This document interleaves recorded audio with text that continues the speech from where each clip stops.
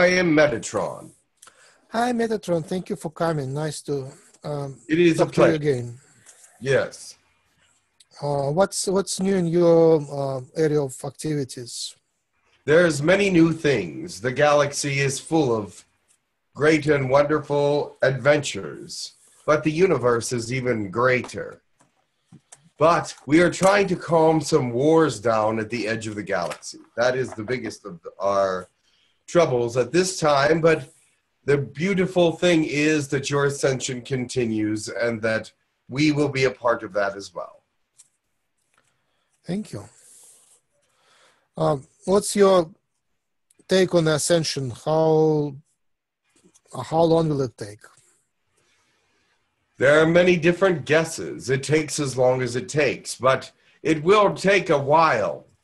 We feel that over a hundred years is necessary for it to be complete. Now, don't confuse that with some of those people moving into the next dimension. The ascension is your next move in evolution and in discovering your new talents as a species whereas moving into the, a new density is something something quite different and something that some will do without reaching ascension end but of course there's no real end to the ascension it continues it just has some watershed places and some goal areas I don't. Uh, can you explain um, what's the difference between? Uh, you said there is individual moving, people moving to uh, the higher density, and collective moving to the higher density. What's the difference? Is it the same? Ascension is a different movement. There are some that are trying to move to the next density, density, Teraha, and there are those that are just in the human race that are moving toward telepathy. Oh. Okay. So if you don't make a cross, if you don't cross over to another reality, you are you haven't ascended yet. You just raised your vibration. That's what you want. Exactly. Correct. Mm-hmm. Right. Mm-hmm. Because you know, I, I see a lot of other channelings which expect the ascension to happen in the next few years. That is not possible. Not possible. Mhm. They do not. There is a lot of false information out there, and there's a lot of misunderstanding about what the ascension really is. And so their information goes along with their understanding, Mhm. but it may not be what the original uh, alien or spirit is wanting to say. They're mixing their thought processes with those of higher thought processes and coming up with answers that are incorrect. Thank you. Be complete. You will not have reached a telepathic universal a universal telepathic place or you will not have reached the next density. So neither one of those is true. So what their opinion of ascension is, I am not sure. Uh, there is a lot of expectation that there will be some um, galactic event or solar solar event which will transmute the whole reality. Humans are impatient. Thank you. All right, uh, let's switch to. Thank you. Um, one more question I have. Um, uh, there is now an opportunity to start a subscription-based system of webinars on on Hucolo. Uh, the disadvantage is that so far it has been all free and uh, that attracted people in many ways. But we failed to make a structure on our side, so it was uh, all volun- volunteer volunteer based, and at the moment we have a crisis with volunteers. There is only basically one person who actually is doing something for free, which is Brie. And um, so my question is, how about we start doing uh, uh, subscription based webinars? and then we can pay little money for to people, and that might attract a lot of people on the side of doing stuff. It might repel some of the public, but it will attract some workers to actually structure and be responsible. Yes. I can see that the it being a free webinar has drawn people and this has been a great help to your success Mhm. because it has been a lot of information that people have gathered over the years and are grateful for. I believe that if you put a price tag on it, some will believe that you have sold out and that it is no longer for them anymore because it was for them that because they could not afford uh, to pay for sessions and it was started in the beginning altogether. Now, those people that are new will not feel the same way. They might be interested in buying a spot, but those that are older may want to be grandfathered in at a free price tag. You will find there will be some push and shove on this decision. Now, of course, there is push and shove for all changes. This is up to you. You have free will to decide what you feel is best. My thought process is that ne- either way it will continue. You may want to experiment with it and see how it goes. Thank you.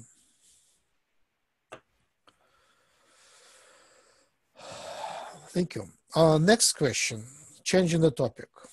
I, I understand. Thank you.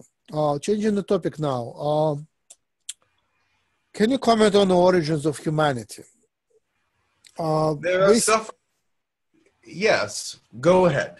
basically, there are two stories, and I still cannot cannot combine them well. One story is of the fall of the Atlantis, and it's really hard to put the time frame on it. But basically,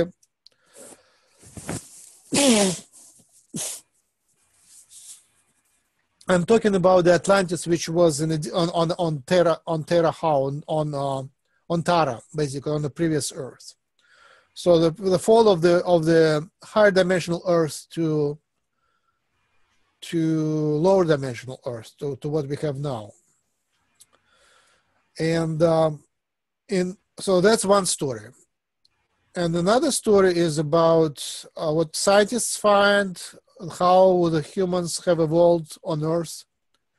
And it's pretty convincing that we are evolved on Earth for a long time and that our DNA is very similar to the one of primates, other primates, and very similar to other mammals. So, so here is kind of the story doesn't. These two stories don't come together really well. You have to kind of clarify that. Well, first of all, there's no truth to the fact that Atlantis was in a different dimension. It had to be third dimensional for it to be on this planet and to make any impact. The other thing is, there is some truth to the fact that there is evolution on the planet. Of course, we've seen it and you've seen it, but there was interference with the Anunnaki who caused great advances in evolution, and that is why you cannot find the missing links. They planted evidence that would cause you to believe that where there was millions of years in between evolutions, or at least hundreds of thousands. However, some of the advances were very quickly done.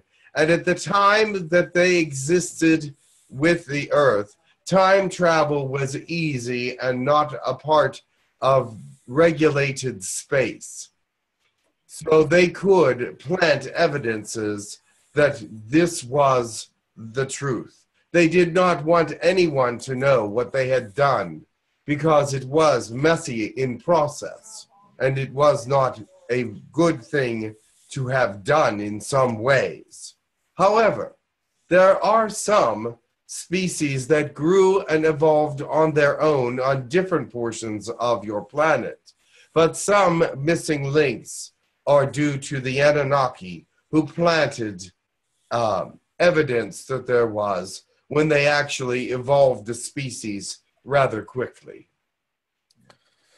Um, are the Anunnaki the reptilians? They are not known exactly what they originally were. We know, but we cannot tell you that information. Okay. Um, what was first, uh, the Anunnaki creating the humans or the Atlantis? The Anunnaki were here before Atlantis. So the whole creation of the humans was before Atlantis. Yes. Was it The before? Humanity and the seeding of the planet became were far before Atlantis. Okay. Was it before Lemuria? Before what? Lemuria. Lemurian?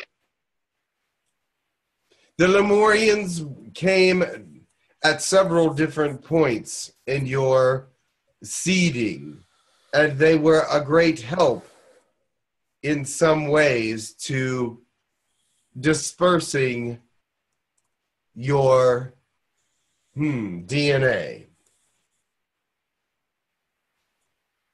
Thank you. Um, what is the difference between saying Lemuria and Lumeria? I think both have uh, some meaning. Like uh, mu is of some value and uh, is of some value. What's what's why, is that discrep- discrepancy? Yes, one is from outer space, as you would call it. The other is those that formed colonies on this planet. So they changed specifically with where they were from because some related to being from the earth and others related to being from the sky. So which ones are which? Lumerians are from the sky. Ah. And what did, what does Lu- Lumer sta- stand for? What is Lumer? Lumer is a brilliant light, and they consider themselves advanced and illuminated. Ah, thank you. Were they humans? They were not originally, but they did eventually start to mate with what is now called humans. So that is they- the difference between the ones from the sky and the ones who colonized Earth and stayed here on your planet. They eventually died out, and some did return to the sky. Uh, so were Lum- Lumerians were they were they uh, mammals or were they reptilians? Yes, they were mammals, So human looking but not humans. correct. I see. Are they? But they did not look all that human. I see. They were they had some human features and were a bit taller than the regular humans. I would imagine you could mistake them for humans at first glance. But if you were to look closely, you would realize there were some features that were not human. The smaller ears and the colors of the eyes, etc. Are they around now? No, they are not part of your culture at this time. They are part of a subculture in one area of the earth subterraneally. I see. So they exist. They do exist, and they will be coming back to earth again. What color are they? They are actually humanoid in color. Are they black? They can be black or they can be Caucasian. I see. Uh, what density are they from? They are from a fourth density, but have the ones that have stayed behind accepted a third den- density lifestyle. They actually enjoy it. So They feel like they are greater than the population, even though they are subterranean and do not show themselves, but they still have some control on the surface. thank you. They're not involved in military complex, right? Not directly. I see. Um, so Lemurians. So the the Lemurians on Earth they were third dimensional, third density, right? They are now third dimensional, the ones that are left behind. Many were destroyed in some of the earth, great earthquake events and tsunamis and things of this nature. And some died of disease. And when they were started to get diseases, they left the planet or went subterranean. I think I see. So, um, what is the time frame for the whole development? Like Anunnaki, how long ago they created humans? it began um, many millions of years ago. Uh huh. And um, Lemuria and Atlantis, what is the time frame for their uh, existence? I believe 58 million years ago, 58 to 60. I'm not exactly sure of the exact time period, Uh-huh. but I do know it was many millions of years ago. Um, and the, we have we have the the time for the last fall of Atlantis about twenty three thousand years ago. Is it about right? That seems rather close. I would go more out to about 40,000. Thank you.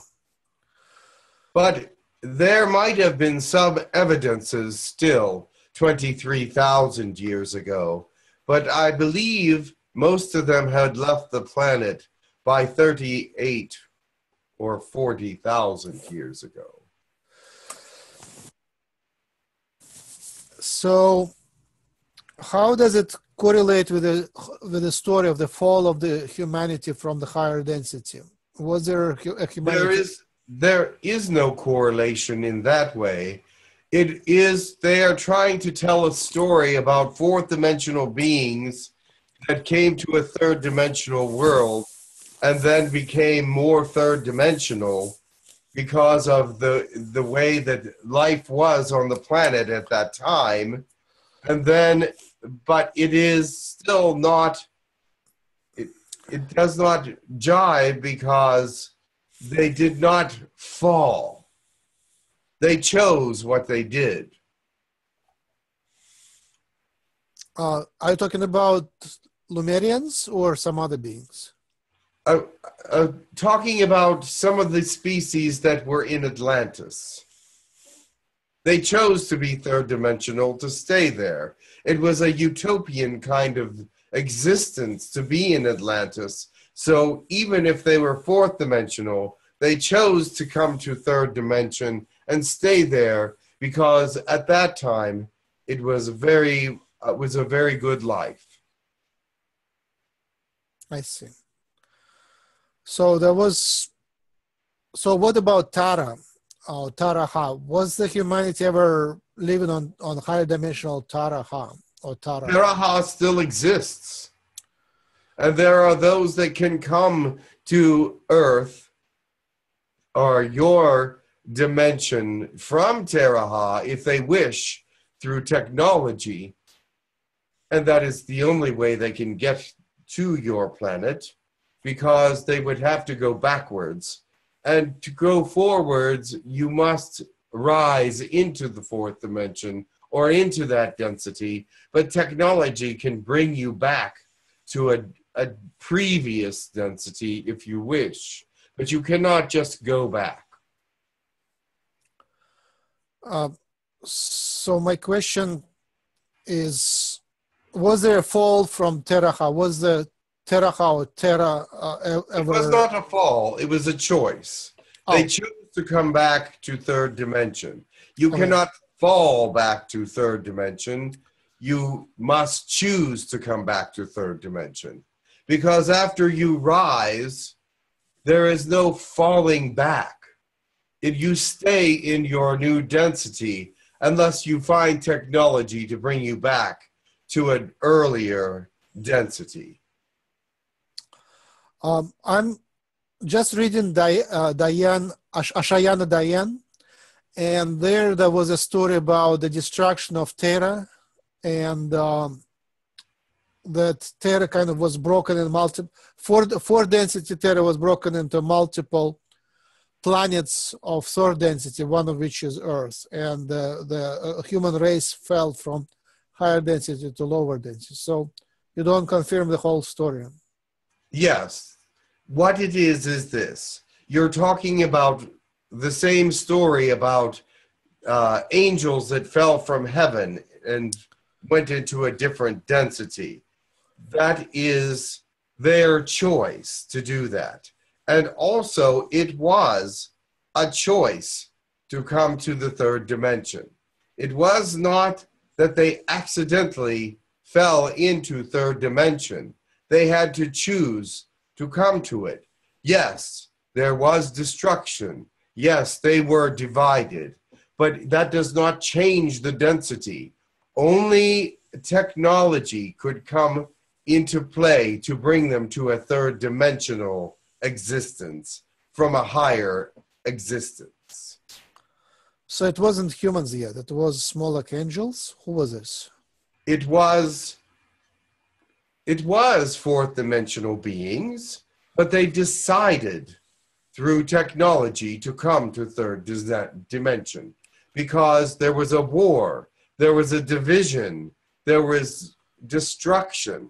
And so when they decided to change dimension, it was to escape from what was happening to their dimension. Uh, are you intentionally not naming them, or is it a name for them? What do you mean? Like, are they humans or not? They are. Ah, even though they are they had gone to a higher dimension at one point humanity this is its not its first time around uh-huh. but is its final time I see. Good. Uh, so, our archaeologists find lots of evidence that there was a prehistoric man f- developing on Earth for last half a million years, and Yes. this prehistoric man was using the same primitive sets of tools like for about half a million years, like uh, arrows of the same kind and fire, very primitive fire. does this make sense to you I see that in many museums, it's absolutely real.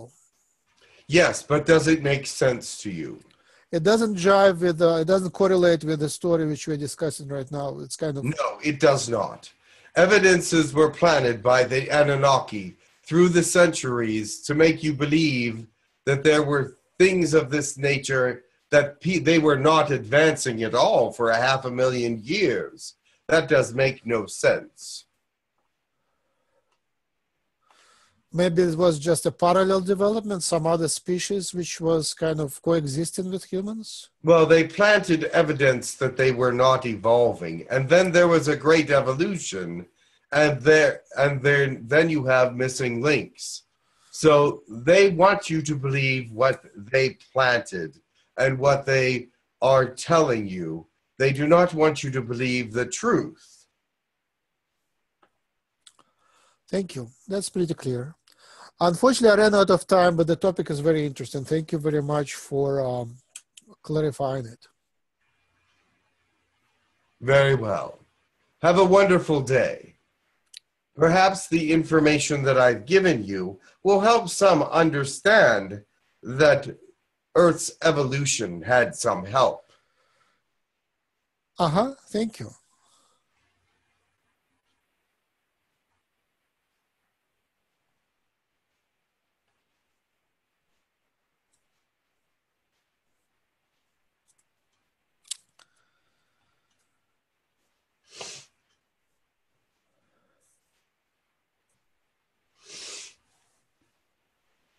Hello. Hey, hey Jim. How you doing? I'm good. Now it's uh, 17 minutes after your whatever hour. 117. It's good. Thank you. I, I will now uh, stop the recording. Okay.